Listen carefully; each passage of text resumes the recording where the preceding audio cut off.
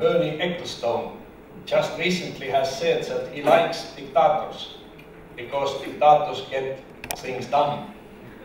Uh, and he mentioned positively Hitler. So it was in press. I am not creating something which is very fantastic. And of course uh, created a lot of fury. But then we, we, there is an interesting note.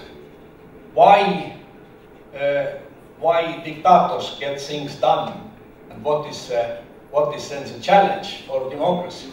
And I think, and I have, I have seen in my five years here, which now uh, will come to, to the end, that this is a mission to ensure that democracy also implements decisions.